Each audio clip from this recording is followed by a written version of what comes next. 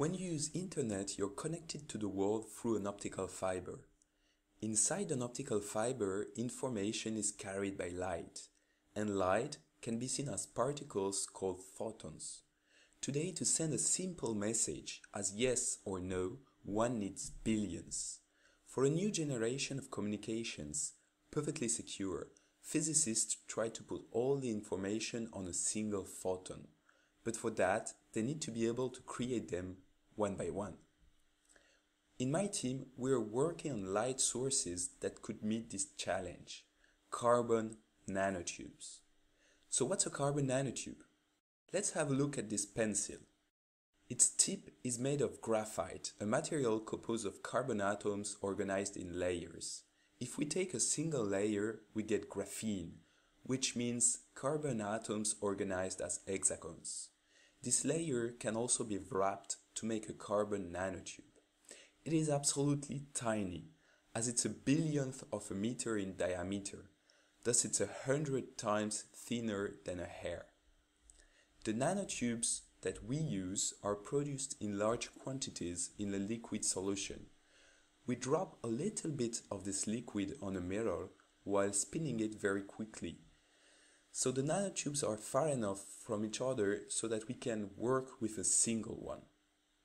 Then, for the success of the experiment, we place them in a very powerful fridge called cryostat, which cools them to minus 445 Fahrenheit degrees. But what's truly difficult is to find a nanotube on this mirror because it's so tiny that it's invisible both to the eye and to an optical microscope. In order to locate it, we use a lens that focuses sharply light in a tiny point at the surface of a mirror. If we scan the mirror, and if there is a carbon nanotube, it responds by emitting light of another color. So we detect a small red dot on the mirror, shining like a firefly in the night. As we wished, this light is emitted photon by photon, but there are too few of them per second to make it usable for the industry. In order to improve it, it's possible to place a second mirror with a round shape above the first one. It lets pass the green light and reflects the red photons. The two mirrors form what is called an optical cavity. Inside, the photons emitted are going back and forth thousands of times before going out through the top.